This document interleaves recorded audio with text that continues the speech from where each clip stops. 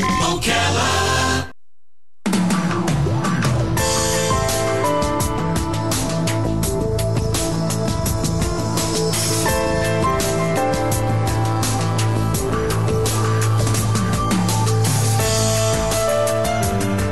Five minutes after 11 o'clock. Thank you for tuning in. How many of you remember when the movie Jeepers Creepers was made here in Marion County? What year was that? Do you remember, Robin? Oh, It's at least 15 years Yeah, ago, something like that, 15 14 or years, 15 years ago. Uh, and at the time, you were with the Film Commission, and somehow you got us to audition to be extras on this film. And, and long story short, they picked the two of us to be part of a bunch of extras that were in that movie. And so if you blink, you, we are now immortal. if you blink, you miss our immortality. Yes. But but I remember the experience, and it was like we were there for three days, Mm-hmm. for three days, and they took Polaroids, I think, of us in the very very beginning, and whatever we were wearing that day, we had to wear every single day. You you especially, they had your hair a certain way. Mm-hmm. They had, a, I think, they had a stick through your hair, right? Did they have a Yes. stick through your hair. Yeah. And, and, and so everything had to be exactly the same. If there was a pen in your pocket, the pen had to be in your pocket, right? Exactly. Everything had to be exactly the same. And all we were was extras that would be seen in the blink of an eye. We weren't the stars. And it made me realize that when you see credits at the end of a movie that indicate who was responsible for the clothing, it's not just a matter of saying, here you go, get dressed and go out there. I mean, there's a really a lot more work to it than I ever would have imagined just from that little tiny experience that we had some 15 years ago. Uh, Jean Pierre Dorleac has been doing this for his life. Uh, he's an acclaimed award winning costume designer for movies, for TV, for Broadway. Uh, and even, this is coincidental, when we were doing that uh, Jeepers Creepers thing, the actress Lesley Ann Warren was there. She wasn't in the Yeah. movie, but she was there. And we so were invited to her bungalow. it was one of those, yeah, it was one of those moments. Were we at her house? yes. Oh, that was her house? yeah. Well, staying here. While, Oh, I didn't know While that. they were filming, that was. Where, So it was one of our, you know how the Jer- David Letterman used to say brushes with with greatness. That Yes. was one of our brushes with greatness. And Jean Pierre Dorleac um, designed, let's see, the spandex, the purple spandex outfit with boots, uh, and then became really really popular. I guess everybody wanted something like that. Well, of course, Lesley Ann Warren was wearing it. she looked great. Uh, Jean Pierre Dorleac, good morning. Uh, oh, he's written a book called The Naked Truth, The Irreverent Chronicle of Delirious Escapades. I love that title. Jean Pierre Dorleac, good morning, sir. Good morning. Where are you? Uh, I'm uh, looking over a city, which, and uh, it's beautiful this morning What city? uh, here. Uh, it's just wonderful. And I heard you talking about Jeepers Creepers. You said Lesley Ann Warren, but I think you meant Lesley-Anne Down, don't you? no, No, I think her name was Lesley Ann Warren. Yeah. I don't know. But I'm, No, no, no. Wait. Are you talking about the fi- the the horror film that Victor Salva directed? right, Yes. right. Right. Well, the cinematographer's name was Don Fauntleroy, and Don Fauntleroy is married to the beautiful, beautiful English actress who was considered for Somewhere in Time. And she was on location with Jeepers Creepers. They are both cl- two of my closest friends. Is that right? Yes, Wow. but Lesley Ann Warren it was in Cinderella originally on Broadway, and she's the one who I did the the spandex outfit for for the backlot at Studio One. But Lesley-Anne Down is the beautiful wife of my good friend Don Fauntleroy. And all those things you said about uh, costumes and continuity and wearing the clothes over and over again Right. is exactly true. But I have to be very honest with you. that is not my doing. I set the look, and then I have the most wonderful, gifted wardrobe people. They're called costume supervisors, key costumers, and they're the ones who take care of the continuity. They're the ones that go around and say, uh, your pen is supposed to be at this angle, and your tie is supposed to be this way. Oh, okay. The last shot we took of you, your collar was just kind of outside of your suit jacket. And they're the ones, and that's called continuity. And they have to do that because if you don't, then you get a very funny movie where people's clothes change in, in position all the time. And if you watch it really close in a lot of films, you can see that because they didn't have very gifted costumers. And uh, that is really one of the biggest and most important things in movies is um, is making certain that the clothes all uh, match from scene to scene. Because another thing that most people don't understand is that we don't film things in continuity. We may do a scene of someone driving to a doctor's office and getting out of a car and walking in the building, and then three days later, we may actually shoot the interior of of the doctor's office. So the clothes that were worn in the previous scenes have to be put back on. They have to be cleaned, and then they have to be put back on again. And then there's photographs taken out, and they everybody looks at the photographs and said, "Yep, this matches, this matches," and then they send them on front of the camera. So costume designing and costuming are two different separate things, but we work hand in hand. Actually, we're even two different unions. The Costume Designers Guild is 892, and the Wardrobe Union is 705. Wow. Uh, and wow. we're not even, we don't even have meetings together or anything. But when I do a picture, I gather together my costumers from various other experiences, if they're available, and they're the ones who uh, who take responsibility for making the film look so complete. So when something is a costume that looks like normal everyday clothing, that's got to be a different challenge than something like what a Star Wars movie might call for, right?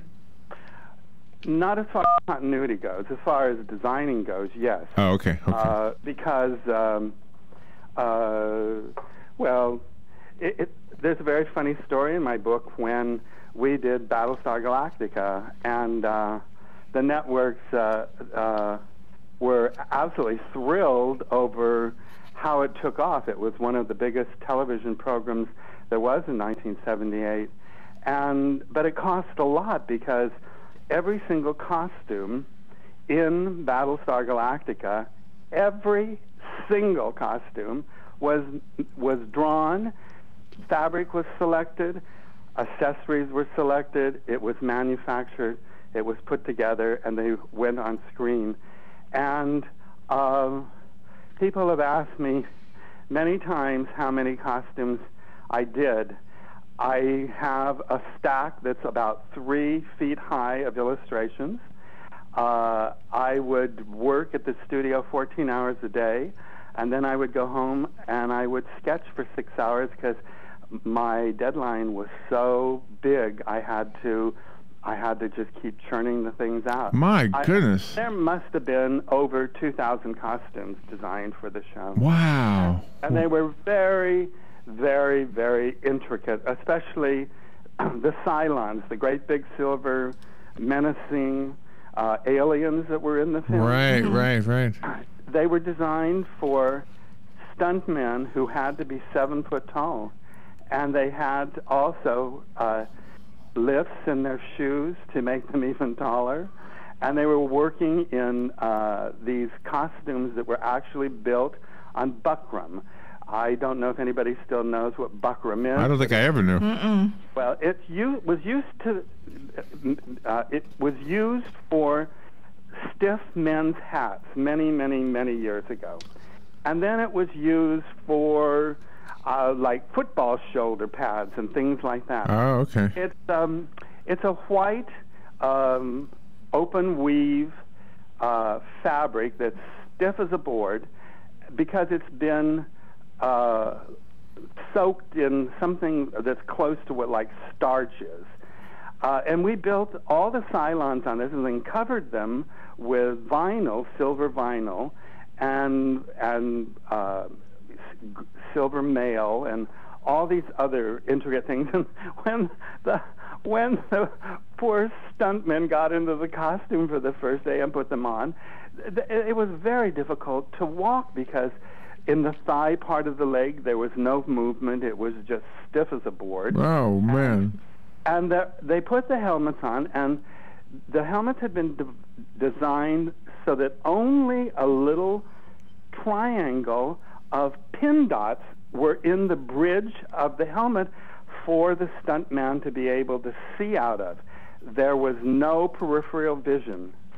And on the first day, they somebody decided that they wanted the stuntmen to ride in on horses that were disguised Oh, as an man. alien creature.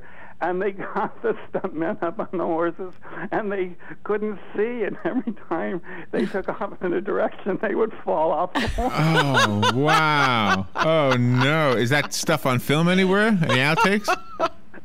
Now they finally cut the scenes out, thank God, and had them walk in. Oh, I got you. Oh man! All right, uh, we need to take a little break, and we'll be right back. We you have kept us spellbound. Uh, Jean Pierre Dorleac on the phone. You, you said you were looking over a city. What city are you looking over? Montevideo in Uruguay. Oh my Oh. goodness! In Uruguay, I had the first call from Uruguay ever. All right, we'll, we'll take a little break. This is fun stuff. We'll be right back. The weather is brought to you by myfwc.com. Safe boating is no accident for today. Clouds and a few intervals of sun, along with a couple of showers and a thunderstorm. Any thunderstorm can produce large hail to high 83 to 87. Mostly cloudy tonight with a passing shower, lows in the mid to upper 60s. For tomorrow, a shower or thunderstorm in the morning, then some sunshine, high 82 to 86. Wednesday, partly sunny, chance of a shower or thunderstorm along the coast, the high 83 to 87. From the Florida Weather Center, I'm meteorologist Joe Lundberg. Career Source Citrus Levy Marion brings together business and community partners, economic development leaders, and educational providers to connect employers with qualified, skilled talent and job seekers with employment and career development opportunities. Tune in the first and third Wednesday of each month at 9:30 a.m. to Career Source Citrus Levy Marion and learn how they can help you. Buried under receipts and confusing tax code, let Crippen and Company help. They work hard to make the tax preparation process as painless as possible. With offices in Ocala and the villages, their team is dedicated to helping clients with corporate and personal tax returns, bookkeeping for businesses, and estate planning for the future. Crippen and Company crafts a truly customized experience for each client's needs while alleviating stress and creating a big picture of your overall financial health. Call 352-732-4260 or visit crippencpa.com to get started. Don't get caught without your daily source of senior deals. Pick up your copy of the Senior Voice newspaper. It's your source for schedule and events tailored to seniors with information you need, like a list of free events in the area. We even have Tom's Picks, a free referral for people who are looking for a company to do work for them. Tom's Picks will refer the company to you that fits your needs. And all we ask in return is that you tell them where you heard about them. For more information, call Tom's Picks 352 804 1223 and pick up your copy of the Senior's Voice at most any business up and down the 200 corridor. Now read Ocala Downtown newspaper online. All right, uh, 18 minutes after 11 o'clock, I, I just went on uh, Google Maps and looked up Uruguay and Mon- Montevideo. So I'm trying. I'm trying to figure. I didn't even know where that was. I had to look Me it up. neither, but I was thinking, where is it? Uh, all right, uh, Jean Pierre Dorleac is on the phone. His book is called The Naked Truth. He is uh, an acclaimed award-winning costume designer for movies, Broadway, TV. He's been telling us these amazing stories about his And work on burlesque. Battlestar Galactica burlesque. Yeah. See, you should have invited me. I could have helped you with that that part of what you did. Rob, Robin said you wanted to talk about the the lizards. I mean, the what do you call them? Oh, Monitor. I, I read that you guys are being uh, overrun with monitor lizards, and they're eating the cats. How awful! Could that I know it's awful. Yeah, but if you give them Cheetos, they stay away from the cats.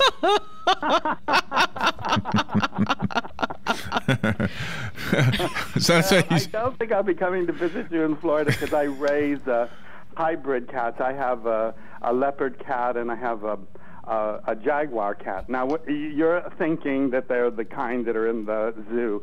These aren't. They both weigh seven pounds. They're hybrids. Oh. They're wonderfully unusual and great character cats. But you know, I wanted to also tell you that um, I shot in Ocala, I believe. Isn't that where Silver Springs and Rainbow Springs is? yes, Yes. yes. Yes, we shot a film there uh, years and years ago.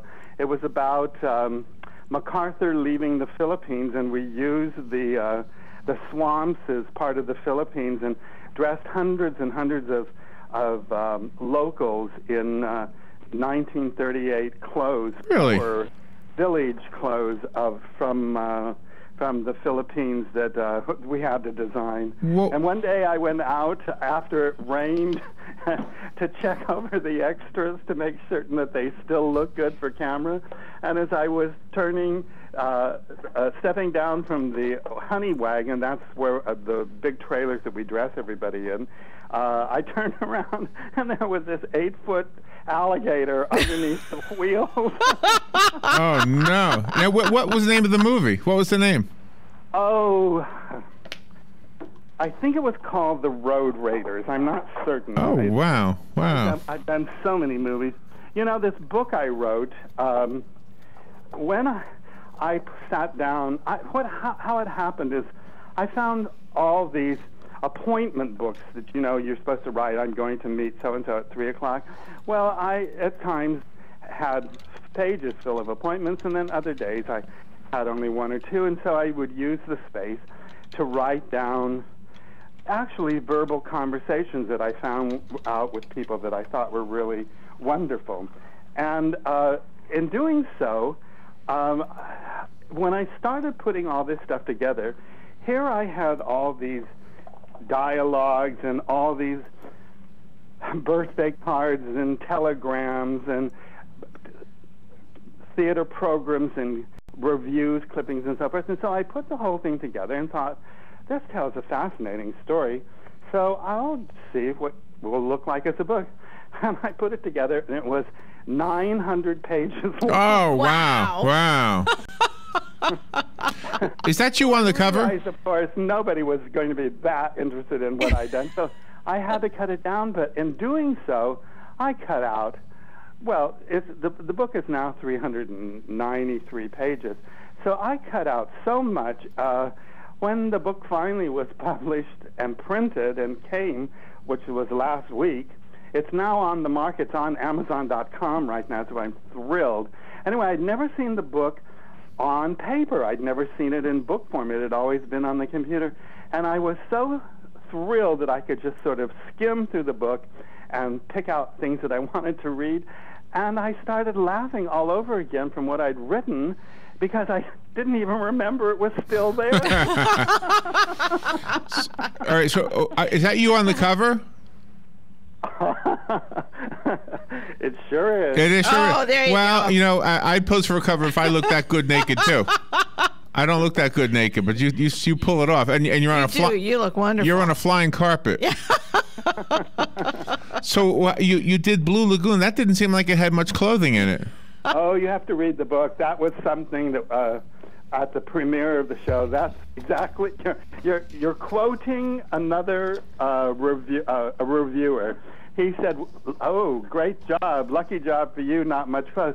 Well, that was the greatest compliment in the for me, because there is absolutely no scene in the movie that either one of the stars, m- maybe Chris, but certainly not Brooke, ever had their clothes off. Brooke was totally clothed at all times. What you saw in the movie that looked like Brooke was a stand-in. And Brooke's mother, Teri um, Shields, was the most wonderful woman in the world, and they would uh, get Brooke in her clothes that looked were very diaphanous, with her hair covering most of her, and we would take toupee tape, and every strand of hair was taped over her breast and everything. So you never ever saw anything of Brooke. So the fact that it was all Victorian clothes and it was done, you know, as a shipwrecked situation was really quite a compliment because it created an illusion of simpleness. Yeah, right, right, right. And yet everybody was always clothed. So do you, ha- do you have any John Travolta stories? The reason I'm asking is because he lives here. yes. oh, um, I've met John several times. He's a very nice man. I knew his agent, uh, manager, Bob LeMond, very well. We were close friends. Uh, and Randall Kleiser, who did Blue Lagoon, uh, did one of his first uh, uh, films, uh, Grease, with uh, with John Travolta. And um, uh, I, I've never had anybody, never heard anybody say anything but very nice things about uh, working with John. Well, I'm not So- looking for dirt. I'm looking for for uh, costume stories. Yes. Any costume Yeah. story? No, I never really actually designed for John. Just a, a peripherally people around him, but not John himself. Uh, you you must have had a good time uh, designing for Quantum Leap since that took a place over the different eras. Quantum Leap was probably the frosting and the cherry on the cake all at once, mainly because uh, Dean Stockwell was the most professional, wonderful actor to ever work with. He'd been in the business since he was a boy. Uh, he uh, did not like costume fittings because he'd been through hundreds of them. It's like my very close friend Jean Simmons, who never wore makeup when she was not on screen because she hated makeup from all the movies Oh. she had to wear makeup in. And and uh, Dean was that way. So Dean and I had meetings and we discussed what colors he wouldn't wear, and that was about it because the rest of the clothes had to be very hedonistic looking, out of this world because they were futuristic. And uh, Dean simply said, "Just do your thing. Just don't put me in fuchsia." And all these clothes for Dean, they would be done in the workroom. We would take them to the set, put them in his room. He would put them on, come out on the set, walk around the set, do a little fashion show, and go, "Isn't this fabulous?" Dean, I, I cannot tell you. I, I cannot say enough wonderful things about Dean Stockwell. So, so when you design a costume, do you own the patent to it? If the, I don't even know if that's the right word. No, I own the sketch, but not the patent because the studio employs me, and basically, because they pay for the fabric and they pay for the labor, they own the costume afterwards. I have Edith Head, who was my mentor, gave me excellent advice at the beginning and said always have it in your contract that you own at least five pieces of the principal's clothing because of uh, exhibits and so forth that will come up in the future. Oh, really? If you don't have them, you certainly can't go back to the studio and get them because usually the studio takes them and then they rent them out to other people, and those people have the right to alter them to make them shorter, tighter, whatever for the who, whoever actor is going to wear it. And sometimes they literally transform the costume entirely. I did a dress for uh, a wedding dress for Quantum Leap that was built on a panier, which is like not like a hoop skirt, but it sticks out on the sides and front and, and flat in the front and back. It was worn during the 18th century by like Marie Antoinette and so forth. But I did this wedding dress out of it, and years later I went back to. Uh, I didn't own the dress; I, it wasn't in my contract. So I went back to the studio because somebody was doing a big wedding display, and they wanted one of my dresses, and I took it out of stock. And somebody who was not educated had looked at this dress and put it on a mannequin, and went, "Oh my God! Look, it's it's um, it's fallen on the sides. It's longer on both sides. Well, let's just cut that off." Oh, Oh. oh And no! this was an eight thousand dollar beaded white skirt. Oh, no. dress, Just the skirt, because it had a peplum over it, and they cut it all off. And so when I went to put the dress back on the mannequin with the correct foundation underneath it, the whole hemline of the dress was entirely gone. Now the, the bottom of the dress smiled at you. It all raised up. Oh no! Oh They man! ruined the dress. So We- that's why Edith Head's advice was very, very, very good because uh, the studios do not take care of clothes at all.